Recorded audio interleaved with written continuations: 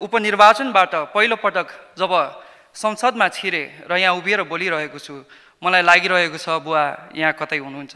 त्यही कारणले गर्दाखेरि म बुवालाई पनि सम्झेर भावपूर्ण श्रद्धाञ्जली अर्पण गर्न चाहन्छु। बुवा सुभाषचन्द्र नेम्बाङ लोकतन्त्रका अटल हिमायती हुनुहुन्थ्यो। विचारको विविधता बहुदलीय प्रतिस्पर्धा र स्वस्थ बहसलाई सम्मान गर्नुहुन्थ्यो। एकबद्ध भएमा समृद्ध राष्ट्र निर्माण गर्न सकिन्छ भन्नेमा अविचलित हुनुहुन्थ्यो। म उहाँहरूले देखाउनु भएको यही मार्गदर्शनलाई शिरमा राखेर काम गर्ने सङ्कल्प गर्दछु।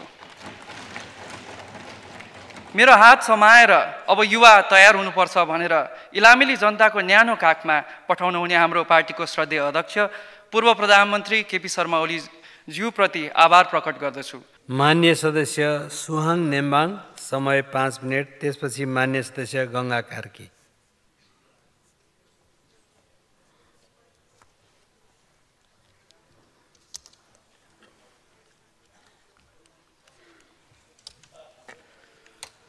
सम्माननीय सभामुख महोदय आज म यहाँ पहिलोपटक यस सम्मानित सदनको रोस्टममा उभिएर बोलिरहेको छु।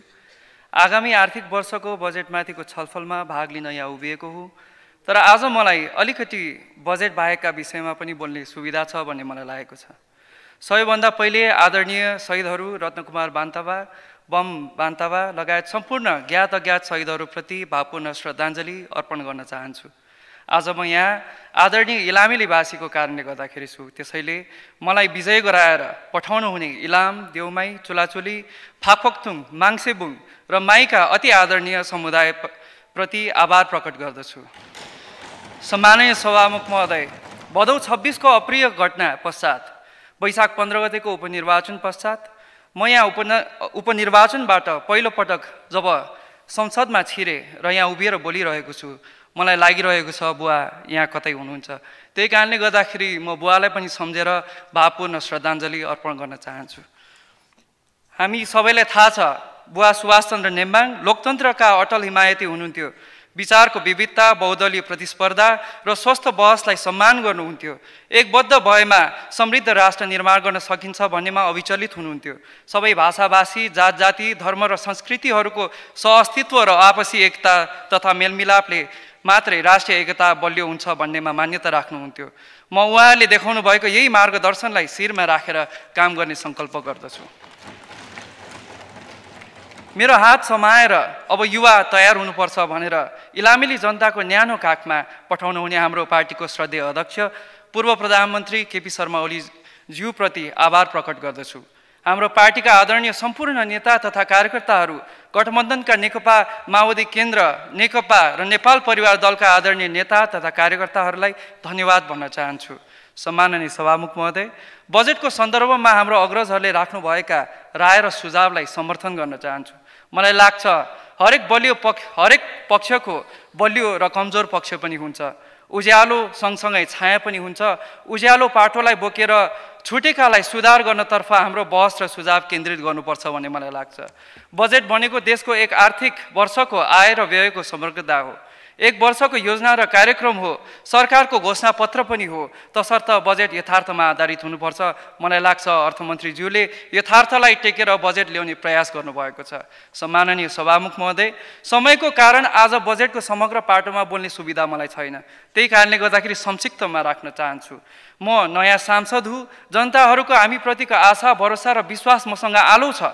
जनताहरूको आशा अपेक्षा मात्र माग र आक्रोश भर्खरै सुनेर आएको छु। दोस्रो म अलिक युवा पनि हुँ। युवाहरूको परिवर्तनको हुटहुटी चाहना र समस्याहरूलाई नजिकबाट छामेको छु।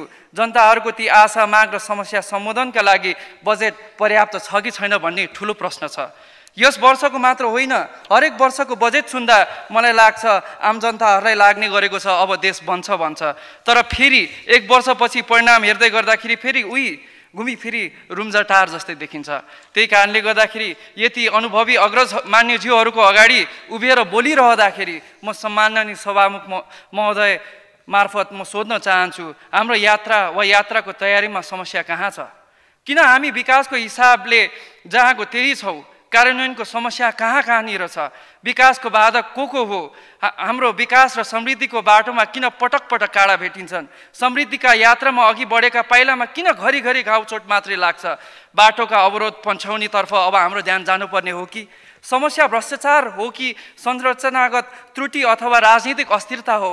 हामीले आफैलाई प्रश्न सोध्ने बेला भएको छ। सम्माननीय सभामुख महोदय हामीसँग के छैन? प्राकृतिक हिसाबले हामी सम्पन्न छौँ। जनता परिवर्तनको तीव्र आकाङ्क्षामा मात्र होइन गहिरो प्रतिबद्धतामा पनि छन्। देशले युवा युवाकाल बाँचिरहेको छ। समृद्ध नेपाल सुखी नेपालीको राष्ट्रिय सङ्कल्प पनि छ। संविधान छ अन्तर्राष्ट्रिय प्रतिबद्धता छ आवधिक योजना र रणनीति पनि छ कार्यान्वयनका लागि संरचना पनि छ। तर हाम्रो यात्रा किन अघि बढिरहेको छैन? तल जनताले योजना मागिरहनुहुन्छ हाम्रो योजना छनौट गर्छौँ बजेट विनियोजन गर्छौँ तर समयमा बन्दैन भने पनि गुणस्तरीय नभएको तथ्य सार्वजनिक भइरहेको हुन्छ। समस्या सुशासनको पो हो कि?